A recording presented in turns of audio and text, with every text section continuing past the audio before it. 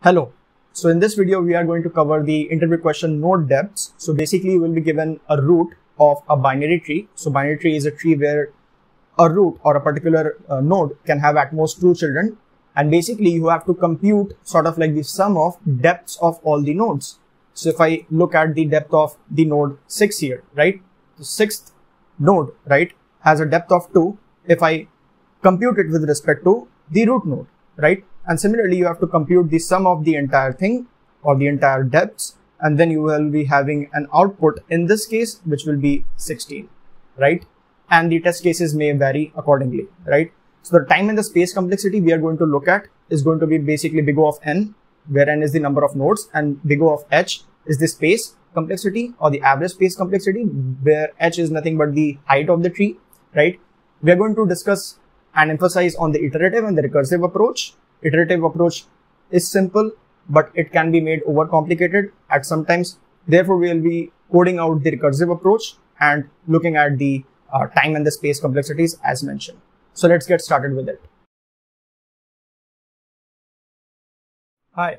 So in this video, I'm going to talk about the question termed as um, node depths, right? So the question can be stated as node depths right? And then basically you will be given a binary tree. So in this case, I'm going to draw a random binary tree right here. So one, two, three, maybe um, four, five, six, seven, and suppose eight and nine. Cool. So I'm going to draw some edges here, right? Also, this is not a graph representation, although this can be um, thought of as a graph representation, but you will be given in the function, you will be given the root itself, right? Let's go. So for this, the output, the output is going to be 16. And let's analyze why the output is 16, right? So basically node depths, right? You have to compute the sum of depths, the sum of depths of all the nodes. So if I talk about the uh, node 1, right? Also, we are talking about the depth from the root node right? So if I talk about one, right? So what is the depth of one from the root node? Well, one is the root node itself. So depth is zero, right? What is the depth of two and three? It's one, right? It's one.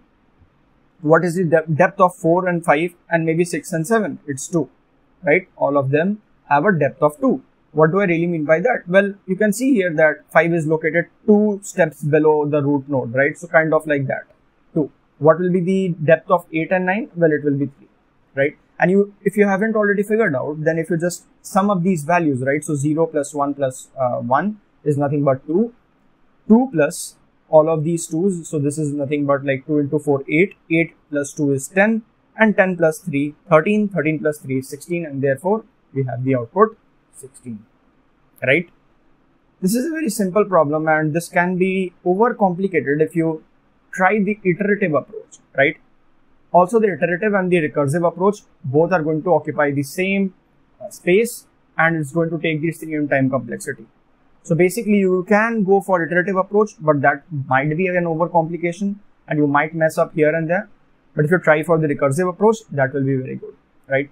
So you can, we can see here, right, what, how we are going to solve this problem. So we can see here that, hey, if I talk about root node uh, 1, right, or if I talk about a node 1 here, then I can see that there is no reference node, right? There is no above node, right? So for uh, right now, I'm happy. I'm happy that the value is zero.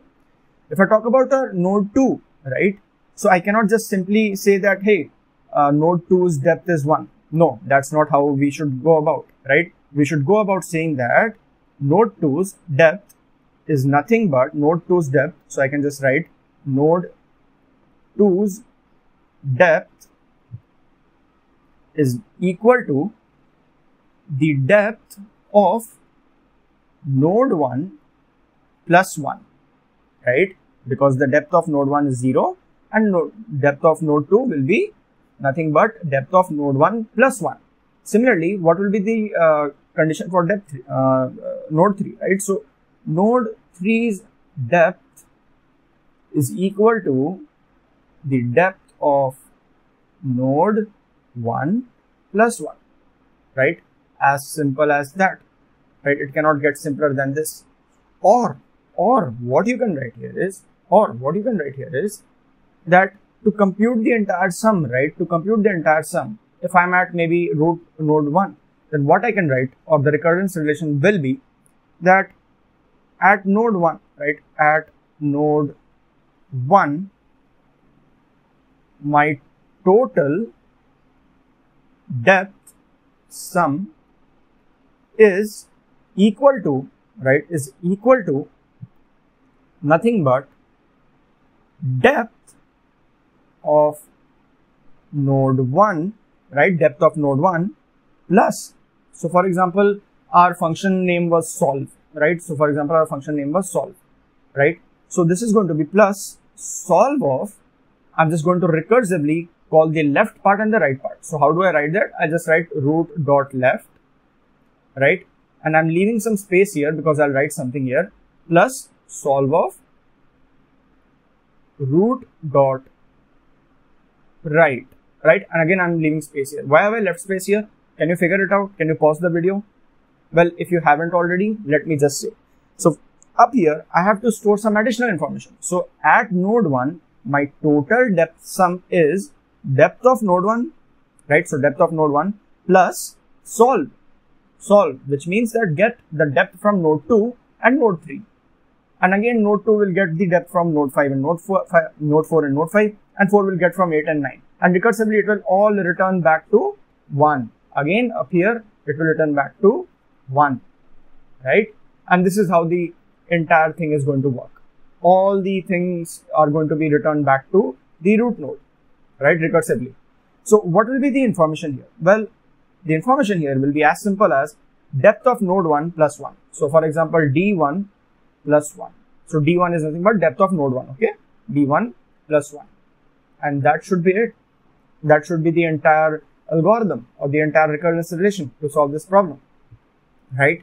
So let's sort of figure it out how the um, sort of like the uh, pseudocode will look like also, I could have just written the code on the VS Code editor as I have been doing for the entire problems, uh, which I have uploaded um, the, before this, right? So I'll just write the pseudo code here and you can easily figure it out. So for example, if our helper method was solve, okay, or maybe, maybe to be more precise, what I'll do is, okay, let's just do it, do it as solve. So solve is my function as of now.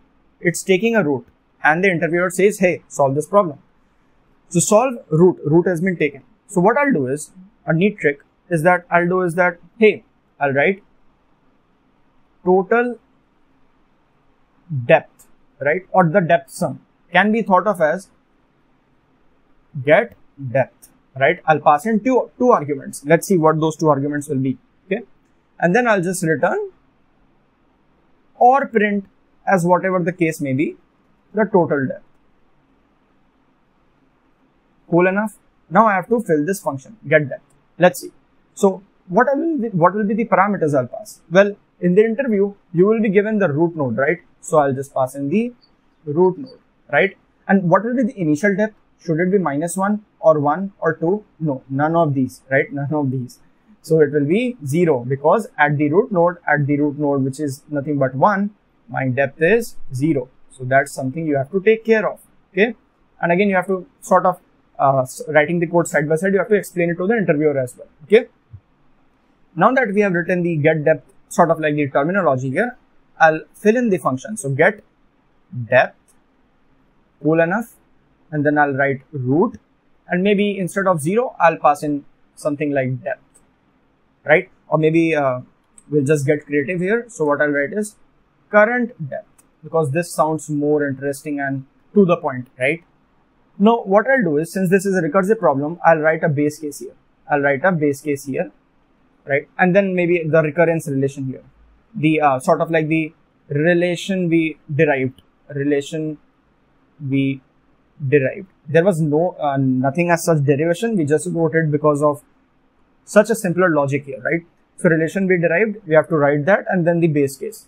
Let's maybe uh, go ahead with the relation we derived, right? So what will be it? Let's write it. So basically we are going to return, return the current depth, right? We're going to return the current depth plus get depth plus get depth. And what will be the parameters? Again, I'll write it down, no worries. Again, plus get depth. Again, the parameters, I'll just write it down. Okay. So this is plus, right? So current depth plus get depth recursive call and then plus get depth recursive call. What will be the first parameter, sort of like the first parameter? Well, it will be as simple as root dot left, right? And what will be the uh, second parameter? It will be current depth plus 1. So maybe I can just write current depth as CD plus 1. Basically, you have to write current depth in full, right? You have to write current depth in full, right?